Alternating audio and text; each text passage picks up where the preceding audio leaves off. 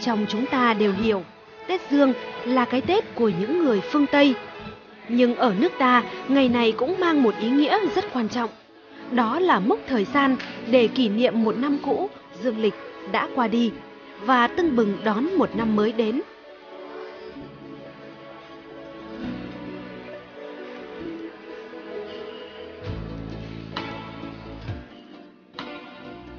Chính vì thế, Tết Dương lịch đặc biệt quan trọng với các doanh nghiệp hay các công ty lớn nhỏ và cả các gia đình. Để mang đến một chút hương vị của Tết Tây, chương trình Ngon và Lành hôm nay xin giới thiệu đến quý vị và các bạn một vài món ăn tiêu biểu và độc đáo trong thực đơn Tết Tây trên thế giới.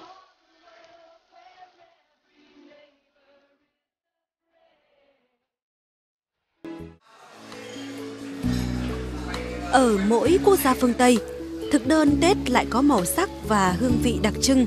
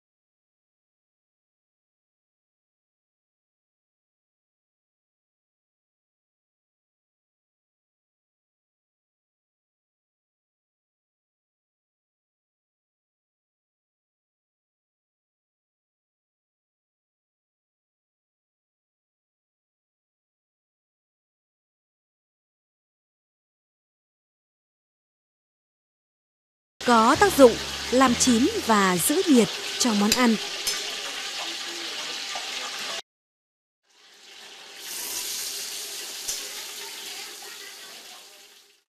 À, thứ nhất là cái bản đá đấy giữ nhiệt rất tốt, có thể à, cho mình à, 5 đến 7 phút à, làm nóng thức ăn mùa đông. Khách hàng rất là yêu thích món này ở trong nhà hàng tôi còn mùa hè thì cũng tránh trường hợp là khách ngồi với cái thời tiết nóng thì ờ, nói chung là mình phải giảm bớt giảm bớt cái nhiệt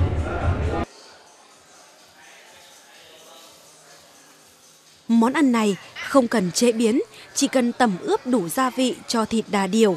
Sau đó đặt lên vỉ đá là món ăn đã hoàn thành.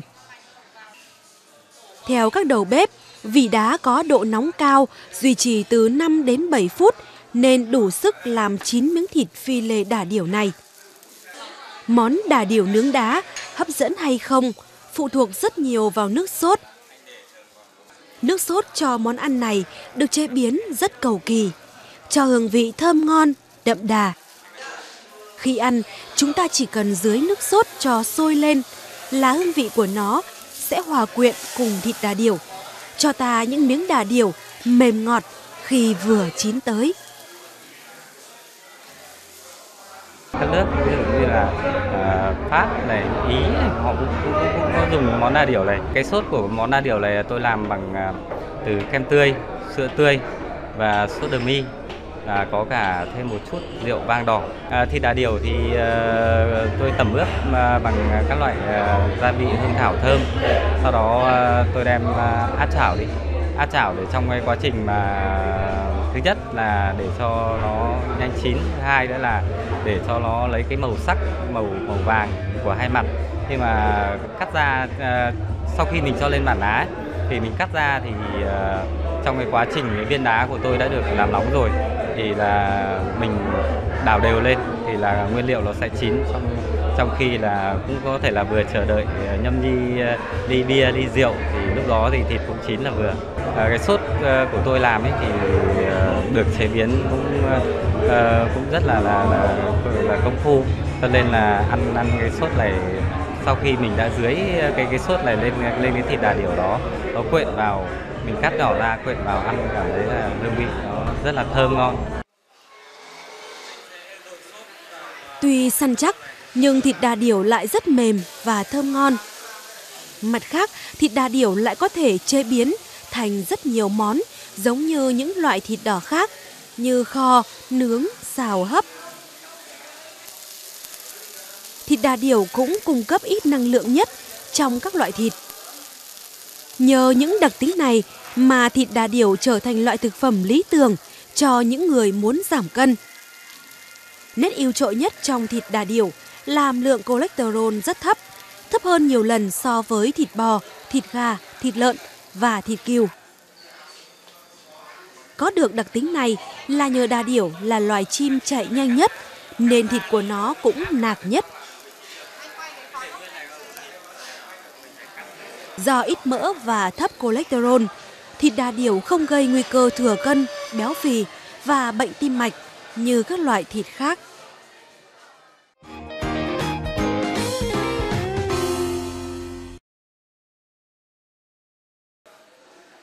Một món ăn cũng khá độc đáo khác trên bàn tiệc Tết Tây ở các nước châu Âu lẫn châu Á, đó là ếch chiên rơm. Món ăn từ ếch rất phong phú như ếch chiên giòn, chiên bột, ếch bằm xúc bánh đa. Trong đó, ếch chiên rơm được ưa thích vì sự độc đáo trong tên gọi, đơn giản trong cách chế biến và quan trọng nhất là mang lại sự ngon miệng. Để chế biến được món ếch chiên rơm, chúng ta cần có một số loại nguyên liệu như thịt ếch, trứng gà, chanh, ớt, mùi tây, cà chua bi, bột muối, bột chiên giòn, dầu mè và các loại gia vị khác.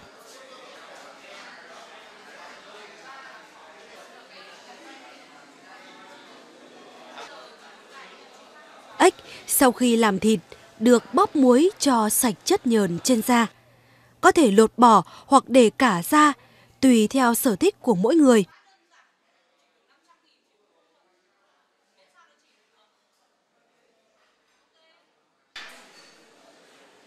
Sau khi chuẩn bị xong nguyên liệu, người nội trợ đem ếch tẩm với lòng đỏ trứng gà, dầu mè, hạt tiêu, bột ngọt và bột chiên giòn.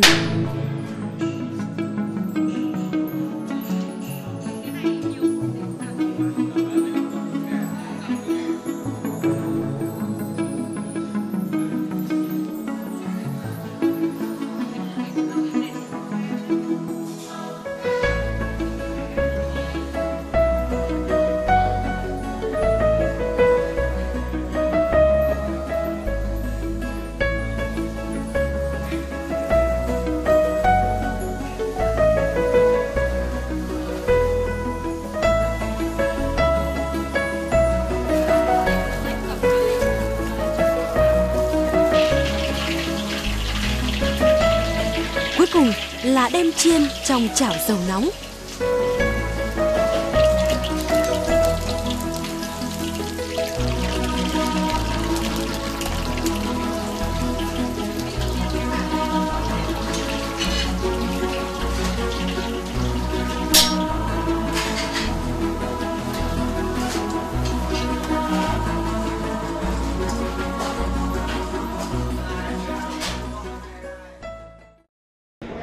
Ra là cái ờ, món ếch chiên dơm này thì uh, uh, quy trình sơ chế ở đó ấy, thì uh, tôi dùng ếch tươi. Uh, sau khi ếch tươi thì tôi tẩm ướp với cả các loại gia vị.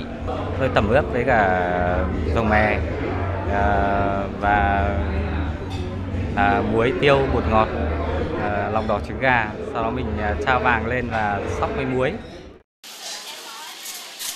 Món ếch chiên dơm khác biệt và độc đáo ở cái ổ rơm vàng óng để trưng bày thịt ếch. Nhiều người sẽ nghĩ là món ăn này có phần nguyên liệu làm bằng rơm.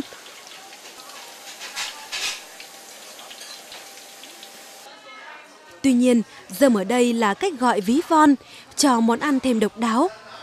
Dơm ở đây chính là xả được tẩm bột cùng gia vị, đem chiên giòn, được người đầu bếp sắp xếp khéo léo thành hình cái ổ dơm.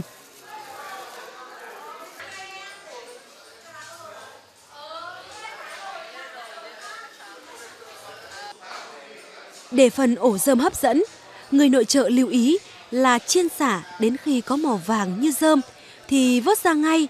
Nếu non quá hay già quá khiến xả bị đen hay có mùi khét thì coi như món ăn đã không đạt. Hương thơm của xả làm cho món ăn dậy mùi rất hấp dẫn. Ếch chiên chín được dọn ra đĩa ăn kèm với tương ớt hoặc chén muối ớt chanh cho món ăn thêm đậm đà. Những miếng ếch được chiên giòn, vàng rụm và thoang thoảng hương thơm của xả ớt rất hấp dẫn. Ổ dơm này ờ, tôi ờ, làm bằng ờ, bằng xả. Xả sau khi tôi đập dập ra sau sau đó là trộn với bột tổng hợp, sau đó tôi đem trao trao vàng lên. Xả thì trong cái quá trình tôi làm cái ổ xả đó thì tôi cũng có đã có tẩm ướp với cả lòng đỏ trứng và uh, các loại bột uh, gia vị và mình có thể là ăn kèm luôn được cùng với cả món uh, ếch đó.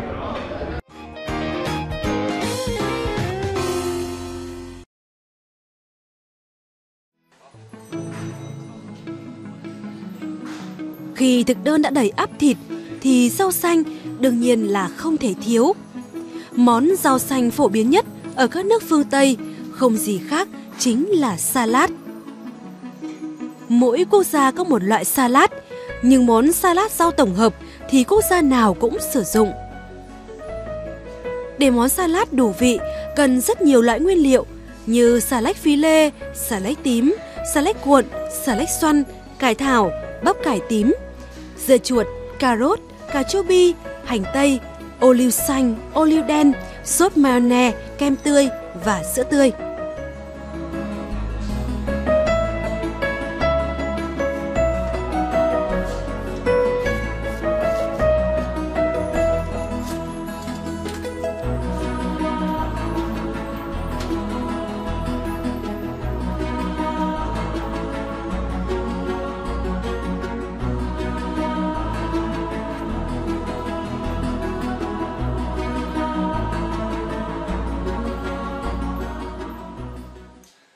Mà để quyết định cái món salad này thì phải nói đến sốt. Sốt trước hết là là, là tôi sử dụng bằng uh, sốt mazole sau đó kết hợp với cả kem tươi sữa tươi uh, và nước cốt chanh và uh, có một chút muối gia vị để cho cái uh, hương vị nó đậm đà lên một chút. Các loại xà lách đều được xé nhỏ không dùng dao thái để đĩa salad có vẻ tự nhiên và hấp dẫn hơn. Sau đó đem trộn đều các loại rau với nhau cho ra đĩa và trang trí bằng cà chua, dưa chuột và ô liu. Để món salad hấp dẫn, chúng ta cần băm hành tây và ô liu cộng với sốt mayonnaise, sữa tươi và kem tươi. Tất cả đánh tan lên, sau đó cho muối và nước cốt chanh. Khi ăn thì dưới sốt lên sau.